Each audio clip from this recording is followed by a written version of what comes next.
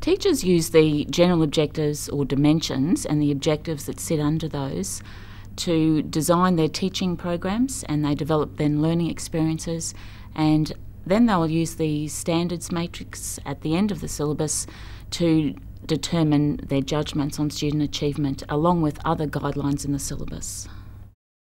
So, in our senior English class, we're studying satirical texts and how authors use humour. And I'm thinking about um, the students writing a feature article for their assessment piece. Mm-hmm. But I want to make sure that they have the opportunity to demonstrate the general objectives. How can I do that effectively? Okay. Well, let's start with the objectives, shall we, to see that, that, that you are um, have been using those in your teaching. So maybe you could talk me through how you've been using the objectives in teaching this particular unit to the students. Sure.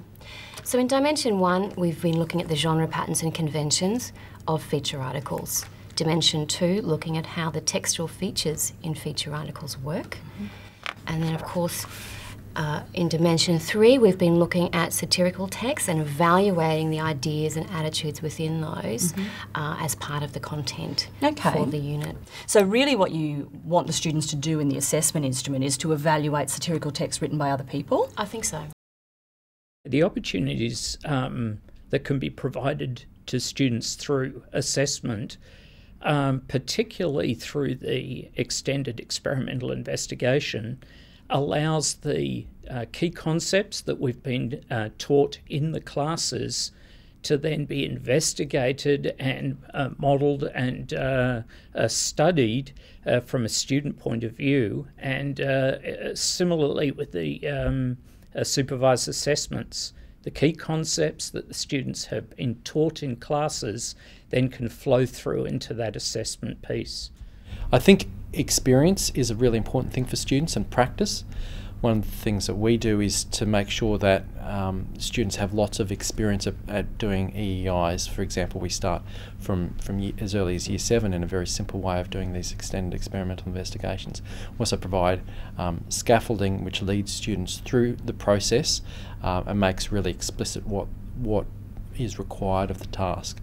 And also, um, try to embed components of the EEI in other aspects of my teaching. So there might be times when I'm explaining a particular point and we'll do get students to design a small experiment that they won't take through to a, a full EEI um, as an experience um, that's embedded in, in, the, in another teaching experience for them to get the experience of that component. In terms of completing assessment instruments, students first of all need to know um, the structure of the course. Now, in physics, there are the broad overall operators of um, motion, energy, and force. And from those, the key ideas are derived and key concepts are derived. And so that's what would be taught within a classroom situation. Once the student has assimilated that information, then they can engage with whatever assessment tasks are placed before them and see how those particular key concepts can be applied in that particular task. Narrowing the scope uh, inspires greater creativity in students, and sometimes that narrowing can be do, done by, for example, setting a context, so requiring students to um, make some link between their investigation and an external context, like, for example, sport. It can be um, based on equipment. We might say there's this certain equipment available, and so that provides uh, a limitation um, or a boundary on, on what the students can do.